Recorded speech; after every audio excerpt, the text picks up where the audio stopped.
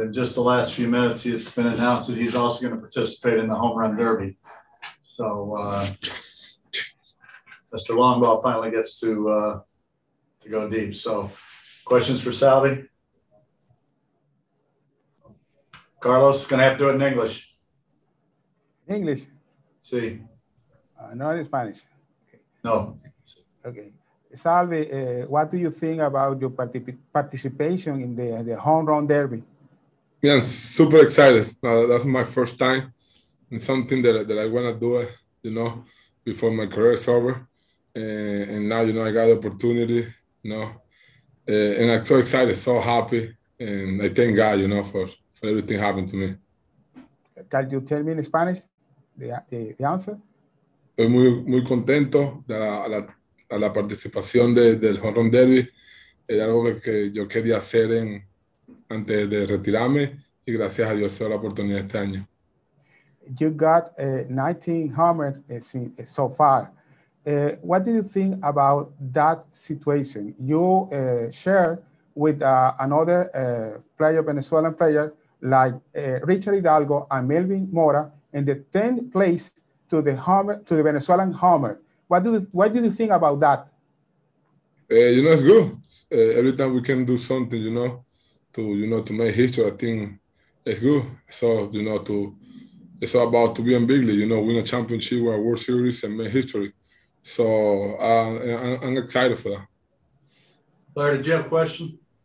Yes, uh, just wanted to ask Salvi if uh, if you've paid attention to the home run derby at the All Star games in, in previous years, and if do you have any memories of watching all home run derbies and All Star games? Yeah, yeah, I was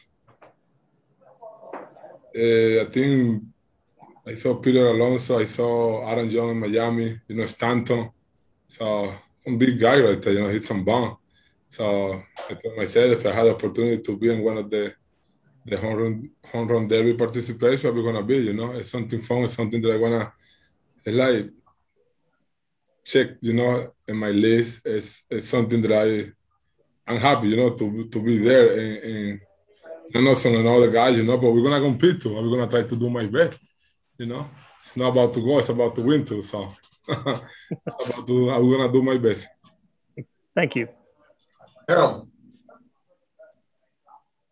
Salvia, uh, just you know, your seventh appearance in the All Star game, and, and, you know, obviously you didn't have the COVID last year, but with the COVID last year, you couldn't have the opportunity to make it last year. And then Tommy John, what's it mean to you return back to that All Star game? After just being out for a, a little while? It's excited, you know, and it's a lot of hard work, man. So that's I tell people like never quit. You know what's gonna happen. You know, just keep fucking. You know, play hard, work hard. No matter what the situation at the moment, you know, things gonna change. You know, and, and you know I'm, I'm so excited, you know, to be back in the All-Star game. You know, to be now participation in the Run Derby something that I, I think every player in minor league want to be in that star game, you know. And we're part of that little group that, that's gonna go to Colorado. So excited, for, especially for my family too. You know, it's, it's a great time for my kid. Uh, I mean, my family is proud of me, so it's pretty good.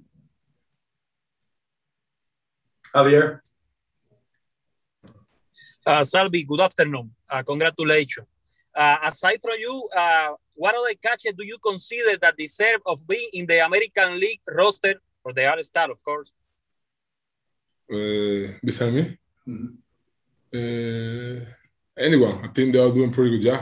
Uh, I don't have any, you know, any like like favorite catch. Whatever's gonna be there, we're gonna enjoy. You know, whatever's gonna be in the All-Star game, they're gonna they deserve to be in the All-Star game.